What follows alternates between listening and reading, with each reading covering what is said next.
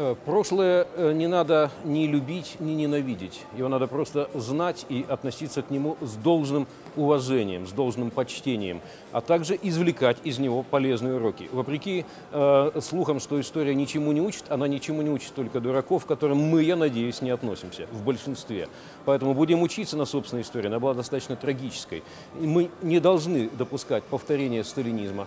Мы не должны допускать повторения таких э, идеологических экспериментов по построению коммунизма, которым мы отдали, отдали э, весь 20 век. Вот этих экспериментов больше не надо. Давайте мы двигаться в русле э, европейской цивилизации, но с серьезным, конечно, азиатским компонентом. Евразийство не означает 50 на 50. Половина в Европе, половина в Азии. Вектор у нас все-таки европейский. Но мы обязательно учитываем весь э, опыт существования в условиях России и наших азиатских товарищей.